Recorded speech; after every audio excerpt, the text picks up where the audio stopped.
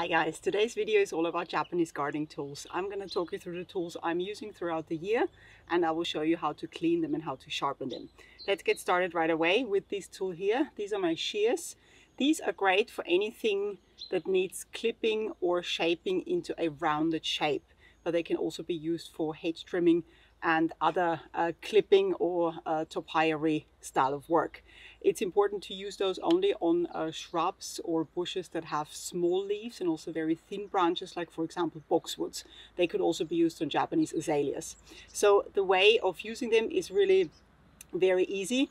Uh, when you start at the top, you start this way around with the tools, holding them like that, and as you wor work your way down to the sides, you flip them around and work down the sides like this, which makes it really, really easy and very practical to use. These, by the way, they come in different sizes. So the handles, they come in uh, different lengths and also the blades come in different lengths. I'm using the uh, smaller size of this series, uh, which works best for me. Next are those two tools. These are hand clippers, so basically uh, the same purpose as the shears, but it's a different way of working. Uh, those can of course also be used to cut rounded shapes, but that's easier with the shears. And with these clippers, I, for example, prune Japanese azaleas that have do not have a rounded shape, but more like a, a flat kind of shape, or also any other kind of uh, shrubs that have small leaves and thin branches. That's also important for those. Now, they are very similar, but the difference is that these, if I open the clasp, you can see that the blades are pretty much the same on either side.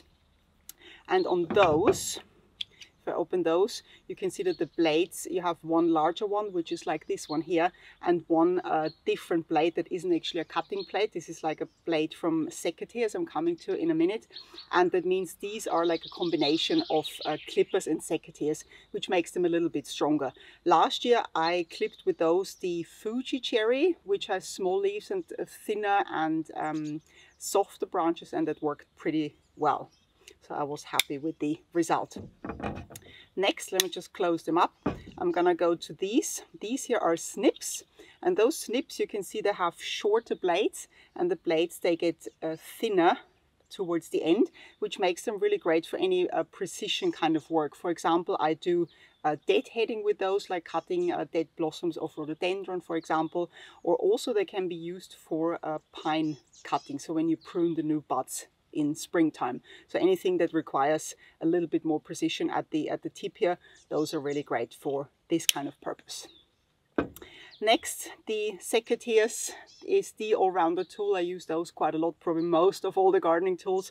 And these are great for any type of pruning work on shrubs or smaller trees. I use them specifically for Japanese maples. And if I open them up, you can see they have one uh, larger blade, that's the cutting blade, and then this blade here, this is the thinner one, which is just supporting the cut. Um, these ones can be used to a branch thickness of up to 15 millimeters. It depends a little bit on the wood. 15 millimeters, that's 5 eighths of an inch. And um, if the wood is not too hard, it's, uh, it's fine to cut uh, branch thicknesses like that with those secateurs. They're very strong. Um, if the wood is too hard, it's maybe not advisable to cut with those. But they are a fantastic tool for any type of pruning work. The next one are the garden scissors. They look like this, so they're similar to the snips in terms of using them. So also those I use for deadheading uh, blossoms, for example, or also for uh, pine bud uh, cutting in spring. And you see also here the blades are shorter and get thinner towards the end. So it's great for anything that requires uh, precision at the end.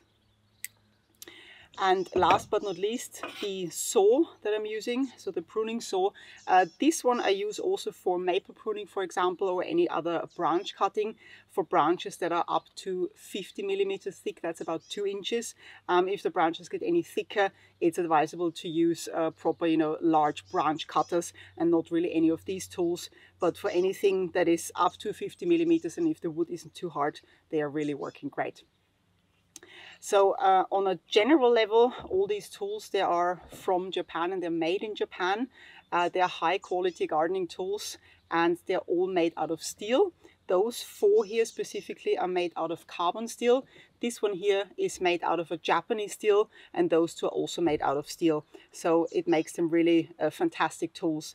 The way they are made, uh, specifically talking about these here, they are either hand forged or drop forged. Drop forged means they are made with a mold and that means the steel is one piece. So there's no uh, weak link to this.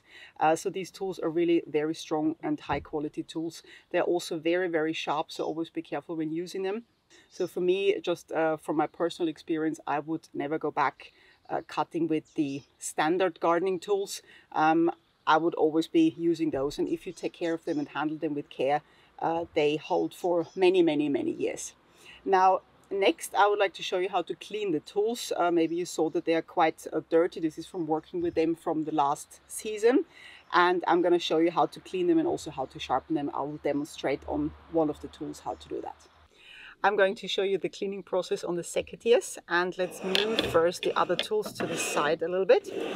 Okay, and then what you need for cleaning is first of all this one here. This is a scouring pad.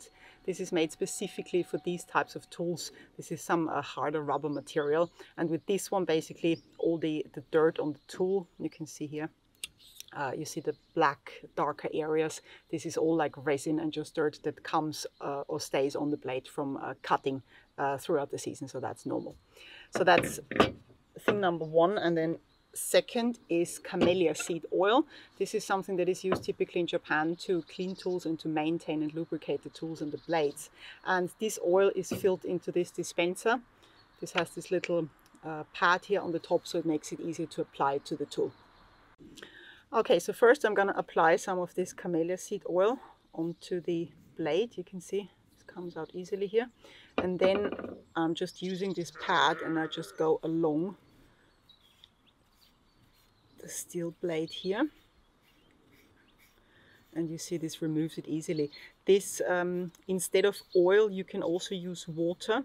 But I personally do not like using water on the blades because they may uh, rust from water. So I always keep them far away from it. So some patches like this one here, they may need a little bit more uh, scrubbing here. But it's all coming off. I just put some oil on.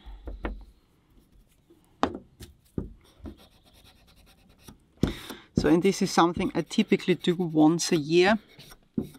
If the tools really have a lot of resin, for example, on, so if you're cutting any conifers, then uh, I do it also during the year, but normally I do it either at the end of the season or the beginning of the new season, which we have now.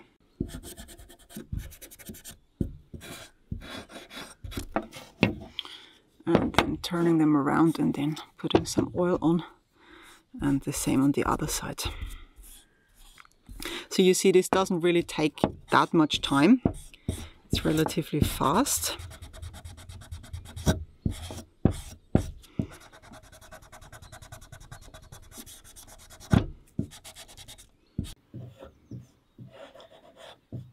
So they look pretty good now. Um, here I'm just using a microfiber cloth to wipe off the excess oil here for now and to see if there are any uh, stains left. Okay, so you can see there are some areas you see like here where it's still a little dark. So I'm just gonna go over this again. The oil that remains on the blade, that's enough for repeating this.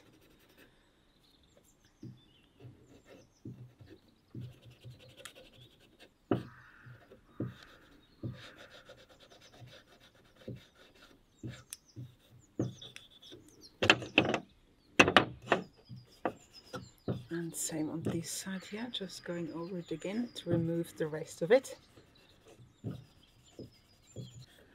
Okay, so this is the last bit of it. That looks very good. So that's the result after cleaning it with the scouring pad. Next, before I apply the final layer of camellia seed oil, I will uh, sharpen this tool. Okay, so next I'm gonna sharpen the tool and for this I have here a sharpening stone. That's just a bowl with water because the stone should be soaked in water a little bit beforehand so it's not dry. And this has a fine grit. This is like a thousand grit, so it's the finest one, which is a, a great um, all-rounder uh, type of stone to sharpen the tools.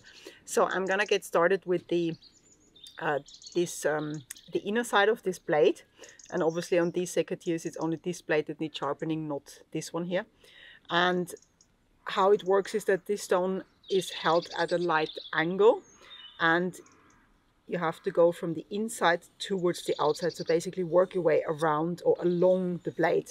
And doing this um, between 10 and 20 times depending on how blunt the tool is that's enough